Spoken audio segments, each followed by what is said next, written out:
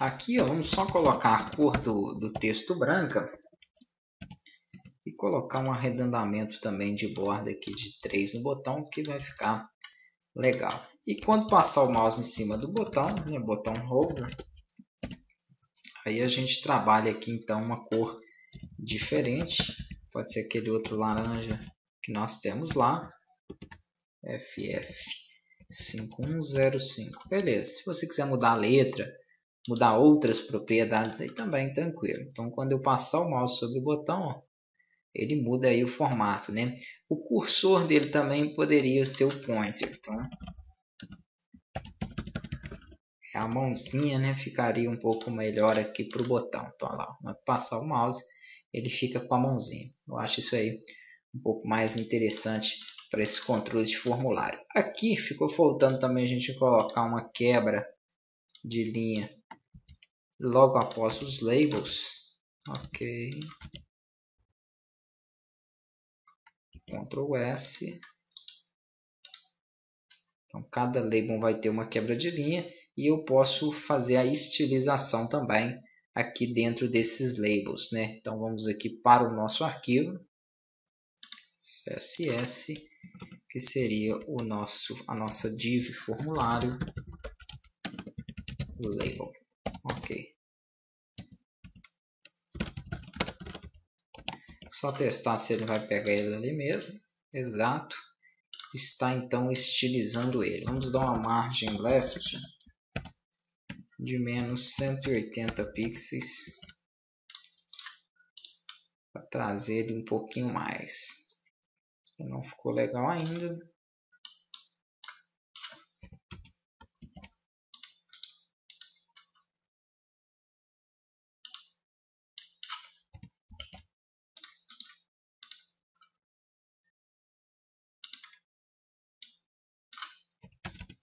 Trezentos pixels aqui, acho que ainda não deu.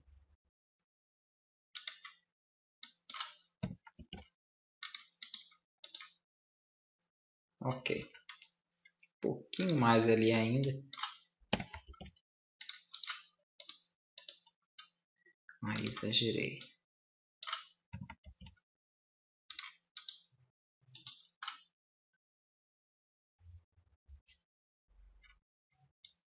O assunto ali foi o único que não ficou na posição correta. Deixa eu verificar ele aqui e-mail, certinho pedido. Provavelmente pelo tamanho dele em si. Vamos colocar um text align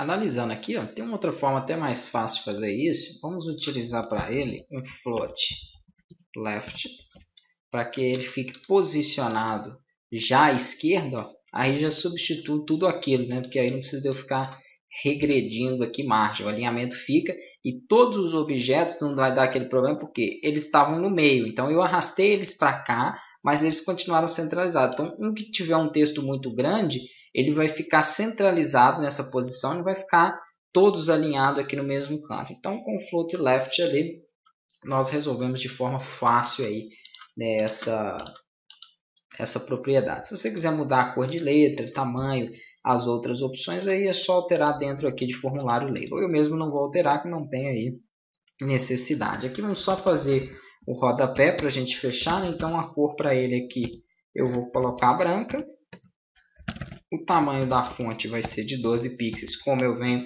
trabalhando nas outras áreas. Aqui eu vou colocar um, um negrito forte aqui para ele, né, que é o boulder. É, vou trabalhar aqui o padding para ele, que é o espaçamento da parte superior de 30 pixels, o mesmo que eu vou fazer na parte inferior, para ele abrir uma área ali, vamos dizer, né, na parte de baixo também. E aqui um texto no meio, então text align center. Ok. Ó, então temos aqui o nosso rodapé aí, né, na parte inferior. com essas propriedades. Beleza, né? ficou faltando ali em alguma, nas duas partes do menu acordeon tirar esse texto, mas quando a gente fizer então em si esse menu, nós vamos tirar. Aqui o, o link já consegue mandar primeiro para a parte específica, né? cardápio, então a gente já tem aí o envio sendo feito.